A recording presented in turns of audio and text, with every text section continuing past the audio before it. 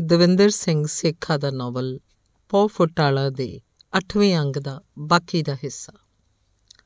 ਬਾਬਾ, ਅੱਜ ਕੱਲ ਜ਼ਮਾਨਾ ਖਰਾਬ ਹੈ। ਲੋਕੀ ਰੱਬ ਨੂੰ ਮੰਨਣੋਂ ਹੀ ਹਟ ਗਏ। ਤਹਿਸੀਲੇ ਚਲੇ ਜਾਓ, ਕਚਹਿਰੀ ਚਲੇ ਜਾਓ, ਹਰ ਥਾਂ ਝੂਠ ਹੀ ਤੁਲਦਾ ਹੈ। ਸੱਚ ਨੂੰ ਕੋਈ ਨਹੀਂ ਪੁੱਛਦਾ। ਸੱਚ ਤਾਂ ਸੁਨਿਆਰੇ ਦੀ ਸੁਰਾਹ ਵਿਚਲਾ ਸੋਨੇ ਦਾ ਕਣ ਹੈ, ਜਿਹਨੂੰ ਲਗਨ ਤੇ ਮਿਹਨਤ ਨਾਲ ਹੀ ਸਾਹਮਣੇ ਲਿਆ ਸਕੀਦਾ ਬੰਤੇ ਫੌਜੀ ਨੇ ਆਪਣੀ ਫਿਲਾਸਫੀ ਦੱਸ ਕੇ ਸਾਰਿਆਂ ਵੱਲ ਵੇਖਿਆ, ਜਿਵੇਂ ਚਿਹਰੇ ਤੇ ਪ੍ਰਭਾਵ ਪੜ ਰਿਹਾ ਹੋਵੇ। ਨਾ ਫੌਜੀਆ ਕੱਲ ਤਾਂ ਤੂੰ ਸੱਚ ਨੂੰ ਸੂਰਜ ਦੀ ਆਖੀ ਜਾਂਦਾ ਸੀ ਤੇ ਅੱਜ ਇਹ ਇੰਨਾ ਨਿੱਕਾ ਕਿਵੇਂ ਬਣ ਗਿਆ? ਕੁੱਲੇ ਪਹਿਲਵਾਨ ਨੇ ਮਸ਼ਕਰੀ ਕੀਤੀ। ਉਹ ਹਮਾਰੀ ਫਿਲਾਸਫੀ ਕੋ ਤੁਮ ਨਹੀਂ ਸਮਝ ਸਕਦੇ। ਬੰਤੇ ਨੇ ਮਾਣ ਨਾਲ ਸਿਰ ਉੱਚਾ ਚੁੱਕਦਿਆਂ ਕੁਝ ਸ਼ਬਦ ਹਿੰਦੀ ਦੇ ਬੋਲੇ। ਤੂੰ ਰੋਜ਼ ਫਿਲਾਸਫੀਆਂ ਹੀ ਨਾ ਬਦਲੀ ਜਾਇਆ ਕਰ। ਤੁਮ ਨਹੀਂ ਜਾਣਦੇ ਬੰਦੇ ਨੂੰ ਸਮੇਂ ਅਨੁਸਾਰ ਬਦਲਣਾ ਚਾਹੀਦਾ ਕਰਤੀ ਨਾ ਫੌਜੀਆਂ ਵਾਲੀ ਗੱਲ। ਐਵੇਂ ਤਾਂ ਨਹੀਂ ਆਂਦੇ, ਉਹ ਗਾਹ ਨਾ ਬੋਲੀ ਪਹਿਲਵਾਨਾ ਮੇਰੀ ਇੱਕ ਵੱਜੀ ਤਾਂ ਧਿਆਈ ਬੋਤੀ ਵਾਂਗੂ ਝਾਕੇਗਾ। ਨਾ ਵੀ ਸ਼ੇਰੋ। ਚਲੋ ਚਲੀਏ, ਹੁਣ ਬਥੇਰਾ ਹੋ ਗਿਆ ਹਾਸਾ ਮੁਖੌਲ। ਕਹਿੰਦਾ ਹੋਇਆ ਚਾਰੂ ਉੱਠ ਖੜਾ ਹੋਇਆ। ਦੇਖਦਿਆਂ ਦੇਖਦਿਆਂ ਦੋ ਬੁੱਢਿਆਂ ਨੂੰ ਛੱਡ ਕੇ ਸਾਰੀ ਸੱਥ ਖਾਲੀ ਹੋ ਗਈ। ਸੱਥ 'ਚੋਂ ਉੱਠ ਕੇ ਚਾਰੂ ਘਰ ਪਹੁੰਚਿਆ, ਅੱਗੇ ਨੰਦ ਕੌਰ ਬੈਠੀ ਸੀ। ਚਾਰੂ ਕੁਝ ਘਬਰਾ ਜਿਹਾ ਗਿਆ। ਹੋਰ ਭਾਬੀ ਸੁੱਖ ਹੈ? ਹਾਂ, ਸੁੱਖ ਹੈ, ਮੈਂ ਗੱਲ ਕਰਨੀ ਸੀ ਇੱਕ ਤੇਰੇ ਨਾਲ।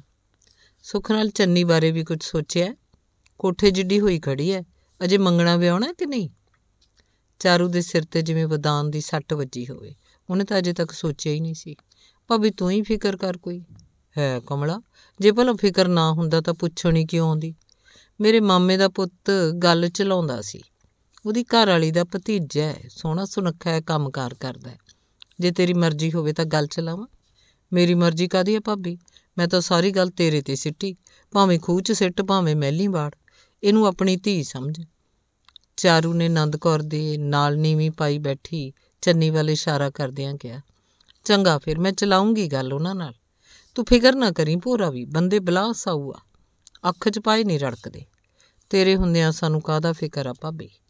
ਚਾਰੂ ਨੂੰ ਨੰਦ ਕੌਰ ਪ੍ਰਤੱਖ ਦੇਵਤਾ ਨਜ਼ਰ ਆ ਰਹੀ ਸੀ। ਉੱਠ ਕੇ ਚਲੀ ਗਈ ਤਾਂ ਚੰਨੀ ਵੀ ਉੱਠੀ। ਹੁਣ ਤੱਕ ਤਾਂ ਜਿਵੇਂ ਉਸ 'ਚ ਸਾਹ ਹੀ ਨਾ ਵਗਦੇ ਹੋਣ। ਬਾਪੂ, ਮਿਲ ਗਏ ਪੈਸੇ? ਚੰਨੀ ਨੂੰ ਆਪਣੇ ਭਰਾ ਦਾ ਫਿਕਰ ਅਜੇ ਵੀ ਸਤਾ ਰਿਹਾ ਸੀ। ਲੈ ਭਲਾ, ਪੈਸੇ ਕਾਤੋਂ ਨਹੀਂ ਸੀ ਮਿਲਨੇ ਆ ਲੈ, ਰੱਖ ਦੇ ਆ 38 ਰੁਪਏ ਆ। ਸੰਭਾਲ ਕੇ ਰੱਖੀ। ਰੁਲਦੂ ਦਾ ਦਾਖਲਾ ਮੈਂ ਦੇ ਆਇਆ। ਇਹ ਪੈਸੇ ਸਰਦਾਰ ਨੇ ਦਿੱਤੇ ਆਹੋ ਕਿ? ਆਪਣੇ ਲਈ ਤਾਂ ਰੱਬ ਹੈ ਰੱਬ। ਚੰਗਾ, ਮੈਂ ਗੇੜਾ ਮਾਰਾਂ ਮੈਂ ਉਧਰ ਨੂੰ। ਚਾਰੂ ਮੰਜੇ ਤੋਂ ਉੱਠਿਆ ਤਾਂ ਇੱਕ ਘੇਰਨੀ ਉਹਨੂੰ ਚੜੀ ਧੰਮ ਕਰਕੇ ਉਹ ਮੰਜੇ ਤੇ ਬੈਠ ਗਿਆ। ਅੰਗ ਨੌਵਾਂ। 4 ਮਹੀਨੇ ਬੀਤ ਚੁੱਕੇ ਸਨ। ਚਾਰੂ ਨੂੰ ਖੂਨ ਦਿੱਤਿਆਂ ਪਰ ਉਹਦੀ ਕਮਜ਼ੋਰੀ ਦੂਰ ਨਾ ਹੋਈ। ਤਾਕਤ ਤਾਂ ਉਸ 'ਚ ਪਹਿਲਾਂ ਵੀ ਇੰਨੀ ਜ਼ਿਆਦਾ ਨਹੀਂ ਸੀ। ਖੂਨ ਦੀ ਇੱਕ ਬੋਤਲ ਕੀ ਗਈ ਜਿਵੇਂ ਉਹਦੀ ਹਿੰਮਤ ਹੀ ਚਲੀ ਗਈ ਹੋਵੇ। ਉਹਨੇ ਮਾਵੇ ਦੀ ਮਾਤਰਾ 'ਚ ਵੀ ਵਾਧਾ ਕੀਤਾ, ਪਰ ਸਰੀਰ ਪਹਿਲਾਂ ਵਾਲੀ ਥਾਂ ਨਾ ਆਇਆ। ਸਰਦਾਰ ਤੋਂ ਝਿੜਕਾਂ ਪੈਂਦੀਆਂ, ਨਖੱਟੂ ਕਿਹਾ ਜਾਂਦਾ, ਪਰ ਸੁਸਤੀ ਉਹਦੇ ਹੱਡਾਂ ਦਾ ਖੌ ਬਣਦੀ ਜਾ ਰਹੀ ਸੀ। ਕੋਈ ਕੰਮ ਕਰਨ ਨੂੰ ਦਿਲ ਨਾ ਕਰਦਾ। ਜਦੋਂ ਦੀ ਨੰਦ ਕੌਰ ਚੰਨੀ ਦੇ ਰਿਸ਼ਤੇ ਦੀ ਗੱਲ ਚਲਾ ਗਈ ਸੀ, ਚਾਰੂ ਨੂੰ ਚੰਨੀ ਦਾ ਕੱਦ ਰੋਜ਼ ਲੰਬਾ ਹੁੰਦਾ ਲੱਗਦਾ। ਨੰਦ ਕੌਰ ਰਿਸ਼ਤਾ ਤਾਂ ਕਰਵਾ ਸਕਦੀ ਸੀ, ਪਰ ਵਿਆਹ ਤਾਂ ਉਹਨੂੰ ਹੀ ਕਰਨਾ ਪੈਣਾ ਸੀ। ਸਾਰੀ ਦਿਹਾੜੀ ਚਾਰੂ ਇਹੀ ਸੋਚਦਾ ਰਹਿੰਦਾ ਕਿ ਵਿਆਹ ਲਈ ਪੈਸਾ ਕਿੱਥੋਂ ਆਊ। ਸਰਦਾਰ ਵੱਲੋਂ ਮਿਲਦੇ ਸ਼ੀਰ ਚੋਂ ਤਾਂ ਉਹਦੇ ਪਰਿਵਾਰ ਦਾ ਢਿੱਡ ਹੀ ਤੁਰਦਾ ਸੀ। ਕਦੇ-ਕਦੇ ਤਾਂ ਉਹ ਸੋਚਦਾ, ਸਰਦਾਰ ਤੋਂ ਮਦਦ ਤਾਂ ਮਿਲ ਹੀ ਜਾਊ। ਸਾਰੀ ਉਮਰ ਵੀ ਤਾਂ ਉਹਦੇ ਲੇਖੇ ਹੀ ਲਾਈ। ਪਰ ਜਦੋਂ ਦਾ ਸਰਦਾਰ ਨੇ ਰੁਲਦੂ ਵਾਰੀ ਜਵਾਬ ਦਿੱਤਾ ਸੀ, ਉਹ ਨਾ ਉਮੀਦਾ ਜਿਹਾ ਹੋ ਗਿਆ ਸੀ। ਰੁਲਦੂ ਦੇ ਕਹਿਣ ਅਨੁਸਾਰ ਉਹਦੇ ਪੇਪਰ ਵਧੀਆ ਹੋ ਗਏ ਸੀ। ਪਿਛਲਾ ਸਾਰਾ ਮਹੀਨਾ ਨਤੀਜੇ ਦੀ ਉਡੀਕ 'ਚ ਦਿਨ ਗਿਣ-ਗਿਣ ਬਤਾਇਆ। ਅੱਜ ਉਹਦਾ ਰਿਜ਼ਲਟ ਅਖਬਾਰ 'ਚ ਛਪਣਾ ਸੀ, ਜਿਸ ਕਾਰਨ ਉਹ ਅਖਬਾਰ ਲੈਣ ਸ਼ਹਿਰ ਗਿਆ ਹੋਇਆ ਸੀ। ਚੰਨੀ ਘਰ ਬੈਠੀ ਉਹਦਾ ਇੰਤਜ਼ਾਰ ਕਰ ਰਹੀ ਸੀ। ਪੈਰਾਂ ਦਾ ਖੜਾਕ ਸੁਣ ਕੇ ਉਤਰਬ ਕੀ ਦੇਖਿਆ ਤਾਂ ਰੁਲਦੂ ਦੀ ਥਾਂ ਤੇਜਾ ਆ ਰਿਹਾ ਸੀ। ਚੰਨੀ ਨੂੰ ਵੇਖ ਕੇ ਉਹਦੀਆਂ ਅੱਖਾਂ 'ਚ ਮਸ਼ਕਰੀ ਨੱਚ ਉੱਠੀ। ਚਾਚਾ ਤੇਜੇ ਨੇ ਅੰਦਰ ਵੱਲ ਦੇਖਦਿਆਂ ਆਵਾਜ਼ ਮਾਰੀ। ਕਿਉਂ? ਚਾਚੇ ਤੋਂ ਮੂੰਗੀ ਦਿਲਾਉਣੀ ਹੈ ਚੰਨੀ ਦੇ ਚਿਹਰੇ ਤੋਂ ਵੀ ਖੁਸ਼ੀ ਡੁੱਲ-ਡੁੱਲ ਪੈ ਰਹੀ ਸੀ। ਇਹ ਕੰਮ ਵੀ ਕਰਦਾ ਚਾਚਾ। ਸੱਦੀ ਕੇਰਾਂ ਚਾਚੇ ਨੂੰ? ਖੇਖਣ ਵੇ ਕੀ ਕਰਦਾ ਹੈ? ਭਲਾ ਜੇ ਉਹ ਘਰ ਹੁੰਦਾ ਤਾਂ ਬੋਲਦਾ ਨਾ। ਚਾਚਾ ਹੈ ਨਹੀਂ ਘਰ, ਸ਼ੁਕਰ ਹੈ। ਬੈਠ ਨੂੰ ਆਖੇਂਗੀ ਕਿ ਖੜਾ ਹੀ ਰਵਾਂ। ਤੈਨੂੰ ਨਵਾਰੀ ਨਾ ਢਾ ਕੇ ਦਿਆਂ। ਐਂ ਕਰਦਾ ਜਿਵੇਂ ਬਲੈਤੋਂ ਆਇਆ ਹੁੰਦਾ ਤੇ ਨਾਲੇ ਸ਼ੁਕਰ ਕਾਦਾ ਕਰਦਾ ਸ਼ੁਕਰ ਵਾਗਰੂ ਦਾ ਕਰਦਾ ਸੀ। ਮੈਂ ਤੁਰਿਆ ਆਉਂਦਾ ਹੀ ਅਰਦਾਸ ਕਰਦਾ ਸੀ ਦਿਲ 'ਚ ਵੀ ਚਾਚਾ ਘਰ ਨਾ ਹੋਵੇ ਕਿਤੇ। ਰੁਲਦੂ ਦਾ ਤਾਂ ਮੈਨੂੰ ਪਤਾ ਵੀ ਸ਼ਹਿਰ ਗਿਆ ਮੈਂ ਆਇਆ ਤਾਂ ਤੈਨੂੰ ਮਿਲਣ ਸੀ। ਕਿਉਂ? ਮੈਥੋਂ ਤੂੰ ਕੀ ਧਾਰਾਂ ਕਢਾਉਣੀਆਂ? ਧਾਰਾਂ ਦਾ ਕੀ ਆ? ਧਾਰਾਂ ਚਾਹੇ ਤੂੰ ਮੈਥੋਂ ਕਢਾ ਲਾ। ਹੁਕਮ ਕਰ ਸਹੀ। ਤੇਜੇ ਨੇ ਚੰਨੀ ਦਾ ਹੱਥ ਫੜਦਿਆਂ ਕਿਹਾ, ਕੁਆਰੇ ਪਿਆਰ ਨੇ ਜਿਵੇਂ ਦੋਹਾਂ ਨੂੰ ਸਰੂਰ ਨਾਲ ਭਰ ਦਿੱਤਾ ਹੋਵੇ। ਚੰਨੀ ਨੇ ਨਾ ਚਾਹੁੰਦਿਆਂ ਵੀ ਆਪਣਾ ਹੱਥ ਖਿੱਚ ਲਿਆ। ਬਹਿ ਜਾ ਅੜਿਆ, ਮੈਂ ਵੀ ਸ਼ਦੈਣ ਆ। ਮੰਜਾ ਵੀ ਨਹੀਂ ਢਾ ਕੇ ਦਿੱਤਾ। ਚੰਨੀ ਦਾ ਦਿਲ ਜਿਵੇਂ ਉਛਲ ਰਿਹਾ ਹੋਵੇ। ਪਲਾਂ 'ਚ ਹੀ ਉਹਨੇ ਵਿਹੜੇ 'ਚ ਖੜਾ ਮੰਜਾ ਆਪਣੀ ਪੀੜੀ ਕੋਲ ਡਾਤਾ ਆ ਹੋਈ ਨਾ ਗੱਲ? ਹੁਣ ਸਵਾਦ ਆਊ ਗੱਲ ਕਰਨ ਦਾ। ਮੈਂ ਤੇਰੇ ਨਾਲ ਕੋਈ ਗੱਲ ਨਹੀਂ ਕਰਨੀ। ਕਿਉਂ?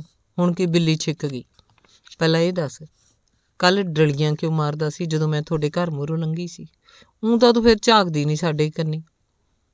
ਝਾਕਣ ਨੂੰ ਕਿਤੇ ਮੇਰੀਆਂ ਅੱਖਾਂ ਦੁਖਦੀਆਂ। ਬੱਠਾ ਰਹਿ ਨੇਰੇ ਤੱਕ ਮੈਂ ਝਾਕੀ ਜਾਂਦੀ ਆ।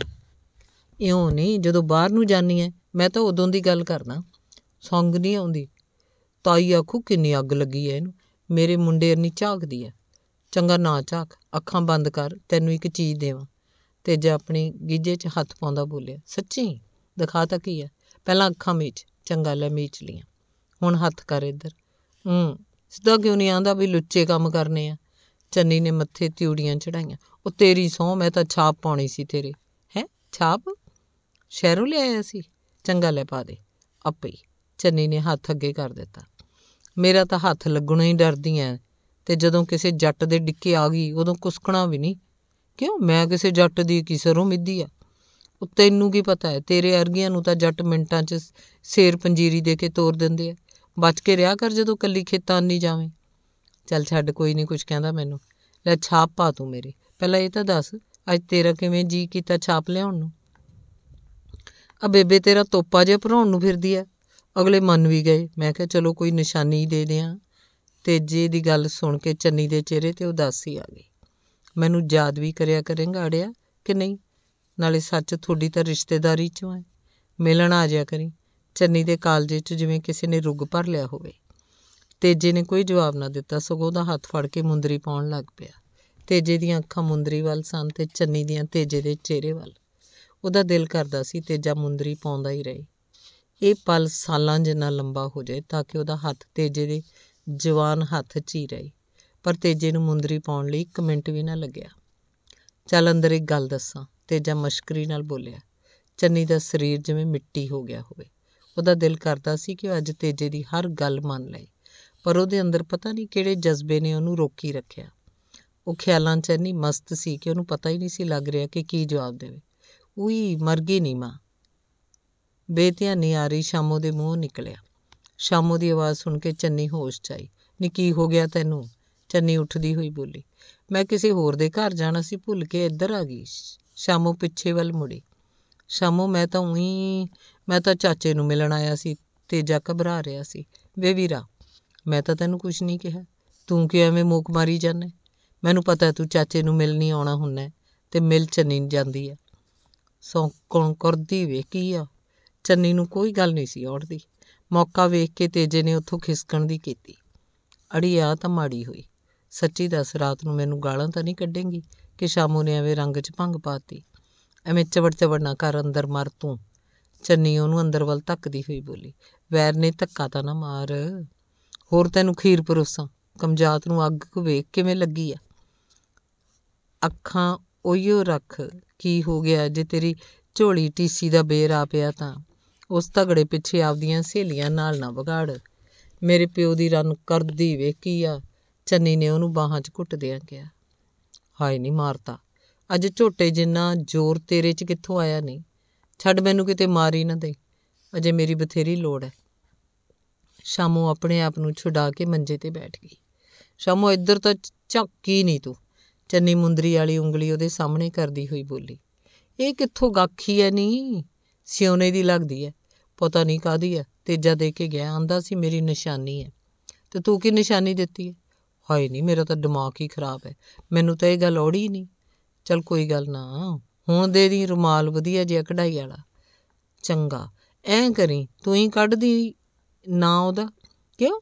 ਮੈਂ ਤਾਂ ਆਪਦਾ ਕੱਢੂ। ਨਾਲੇ ਮੈਨੂੰ ਮਿਲ ਲਿਆ ਕਰ ਹੁਣ, ਜਿੰਨਾ ਮਿਲ ਹੁੰਦਾ ਫਿਰ ਡਿੱਕੀ ਜਾਇਆ ਕਰੇਂਗੀ ਸ਼ਾਮੋਂ ਨੂੰ। ਕਿਉਂ ਅੜੀਏ? ਤੂੰ ਕਿੱਥੇ ਜਾਣਾ? ਲੈ, ਤੇਰੇ ਭਾਣੇ ਮੈਂ ਸਾਰੀ ਉਮਰ ਇੱਥੇ ਬੈਠੀ ਰਹੂੰ। ਅਖੇ ਬੇੜੀ ਦਾ ਪੂਰ ਤੇ ਤਰਿੰਜਣ ਦੀਆਂ ਕੁੜੀਆਂ ਸਬੱਬ ਨਾਲ ਹੋਣ ਇਕੱਠੀਆਂ। ਮੇਰਾ ਵਿਆਹ ਬਣਤਾ ਚੰਨੀ ਦੇ ਕਾਲਜੇ 'ਚ ਜਿਵੇਂ ਰੁੱਗ ਭਰਿਆ ਗਿਆ ਹੋਵੇ। ਕਦੋਂ ਦਾ? 10 ਆੜ ਦਾ। ਸ਼ਾਮੋ ਅੜੀਏ, ਮੇਰਾ ਤਾਂ ਤੇਰੇ ਬਿਨਾਂ ਚੇਤੀ ਨਹੀਂ ਲੱਗਣਾ।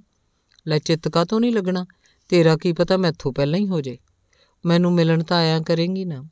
ਇਹ ਤਾਂ ਫਿਰ ਅਗਲੇ ਦੇ ਵੱਸ ਹੈ, ਜਦੋਂ ਇੱਥੇ ਲਿਆਇਆ ਕਰੂ ਮੈਨੂੰ, ਫਿਰ ਤਾਂ ਤੈਨੂੰ ਮਿਲਿਆ ਹੀ ਕਰੂੰ। ਜਦੋਂ ਤੇਰਾ ਵਿਆਹ ਹੋ ਗਿਆ, ਫਿਰ ਤਾਂ ਸਬੱਬੀ ਮੇਲੇ ਹੈ ਲੈ, ਰੁਲਦੂ ਵੀ ਆ ਗਿਆ। ਵੀਰੇ ਪਾਸ ਹੋ ਗਿਆ? ਚੰਨੀ ਉਹਨੂੰ ਲਾੜ ਨਾਲ ਵੀਰਾ ਹੀ ਆਖਦੀ ਸੀ। ਰੁਲਦੂ ਨੇ ਕੋਈ ਜਵਾਬ ਨਹੀਂ ਦਿੱਤਾ। ਬੋਲਦਾ ਕਾਤੋਂ ਨਹੀਂ ਇਹ ਮੂੰਹ ਜਿਹਾ ਕਾਤੋਂ ਲਮਕਾਇਆ ਬੋਤੇ ਦੇ ਬੁੱਲਾਂ ਨੂੰ? ਰੁਲਦੂਆ ਦੱਸ ਤਾਂ ਸਹੀ ਪਾਸ ਹੋ ਗਿਆ, ਸ਼ਾਮੋ ਨੇ ਵੀ ਪੁੱਛ ਕੀਤੀ। ਆਹੋ, ਹੋ ਗਿਆ। ਫਿਰ ਮੂੰਹ ਕਿਉਂ ਫਿੱਡੀ ਜੁੱਤੀ ਵਰਗਾ ਬਣਾਈ ਫਿਰਦਾ? ਮੇਰੀ ਫੋਟੋ ਨਹੀਂ ਛਪੀ ਅਖਬਾਰ 'ਚ। ਰੁਲਦੂ ਅਖਬਾਰ ਸ਼ਾਮੋ ਸਾਹਮਣੇ ਸਿੱਟਦਾ ਬੋਲਿਆ, ਮੈਂ ਪੰਜਵੇਂ ਨੰਬਰ ਤੇ ਆਇਆ ਪੰਜਾਬ 'ਚੋਂ। ਆਪਣੇ ਅਰਗਿਆਂ ਨੂੰ ਪਹਿਲੇ ਨੰਬਰ ਤੇ ਕੌਣ ਲਿਆਊ? ਪਹਿਲੇ ਨੰਬਰ ਤੇ ਤਾਂ ਸਰਦਾਰਾਂ ਦਾ ਮੁੰਡਾ ਹੀ ਆਇਆ ਹੋ ਉਹਨਾਂ ਕੋਲ ਕਿੰਨਾ ਪੈਸਾ ਹੈ? ਸ਼ਾਮੋ ਨੇ ਅਨੁਮਾਨ ਲਾਇਆ। ਲੈ, ਕਰ ਲੋ ਕਿਉਂ ਨੂੰ ਭਾਂਡਾ। ਨੰਬਰ ਵੀ ਕਿਤੇ ਮੁੱਲ ਵੇਖਦੇ ਆ। ਉਹਦਾ ਤਾਂ ਰੋਲ ਨੰਬਰ ਵੀ ਨਹੀਂ ਛਪਿਆ ਅਖਬਾਰ 'ਚ। ਵੱਡਾ ਹੁਸ਼ਿਆਰ ਬਣਿਆ ਫਿਰਦਾ ਸੀ। ਰੁਲਦੂ ਦੇ ਚਿਹਰੇ ਤੇ ਜਿਵੇਂ ਰੌਣਕ ਆ ਗਈ। ਚਲ ਕੋਈ ਨਾ, ਜ਼ਿਲ੍ਹੇ 'ਚੋਂ ਤਾਂ ਫਸਟ ਆ ਹੀ ਗਿਆ।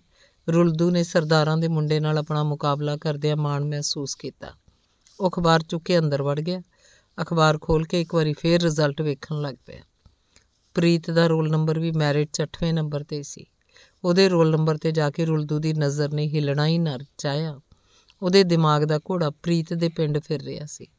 ਮਿਹਨਤ ਕਿਹੜਾ ਘੱਟ ਕਰਦੀ ਸੀ? ਉਹਨੇ ਪਤਾ ਨਹੀਂ ਰਿਜ਼ਲਟ ਦੇਖਿਆ ਕਿ ਨਹੀਂ। ਜਾ ਕੇ ਦੱਸ ਹੀ ਆਵਾਂ। ਨਾਲੇ ਬਹਾਨੇ ਨਾਲ ਜੇ ਕਿਤੇ ਉਹ, ਨਹੀਂ, ਇਹ ਤਾਂ ਹੋ ਹੀ ਨਹੀਂ ਸਕਦਾ। ਉਹ ਇੰਨੀ ਸੋਹਣੀ, ਨਾਲੇ ਜੱਟਾਂ ਦੀ ਕੁੜੀ। ਉਹ ਮੋਹ ਜਿਹਾ ਤਾਂ ਕਰਦੀ ਐ।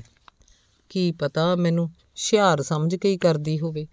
ਉਹ ਤਾਂ ਵੀਰ ਕਹਿ ਕੇ ਸਾਦੀ ਐ। ਭਲਾ ਉਹਦੇ ਘਰ ਜਾਣ 'ਚ ਕੀ ਹਰਜ ਐ? ਰਿਜ਼ਲਟ ਦੱਸਣ ਹੀ ਜਾਣਾ ਪਰ ਚੱਲ ਦੇਵਤਾ ਹੁਣ ਅੱਖ ਚੁੱਕਣ ਜੋਗਾ ਨਹੀਂ ਰਿਹਾ। ਸੌਲਾ ਗੀਦੀ, ਪ੍ਰੀਤ ਪਿੱਛੇ ਲੜਦਾ ਹੋ ਰਹਿੰਦਾ ਸੀ। ਹੁਣ ਬੈਠਿਆ ਕਰੇ ਕੱਲਾ ਜਮਾਤ 'ਚ। ਵੇ ਹੁਣ ਅੰਦਰ ਵੜ ਕੇ ਕਿਉਂ ਬਹਿ ਗਿਆ? ਰੁਲਦੂ ਅਜੇ ਹੋਰ ਪਤਾ ਨਹੀਂ ਕਿੰਨਾ ਚਿਰ ਸੋਚਾਂ ਦੇ। ਸਮੁੰਦਰ 'ਚ ਗੋਤੇ ਖਾਂਦਾ ਰਹਿੰਦਾ, ਜੇ ਚੰਨੀ ਉਹਨੂੰ ਨਾ ਬੁਲਾਉਂਦੀ। ਮੈਨੂੰ ਤਾਂ ਨੀਂਦ ਆਉਂਦੀ ਹੈ ਥੱਕ ਗਿਆ ਸ਼ਹਿਰ ਜਾ ਕੇ। ਰੁਲਦੂ ਨੇ ਬਹਾਨਾ ਲਾਇਆ। ਚੰਗਾ, ਆਰਾਮ ਕਰ ਲਾ ਬਿੰਦ।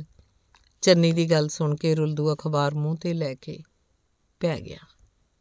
ਧੰਨਵਾਦ। ਚੱਲਦਾ।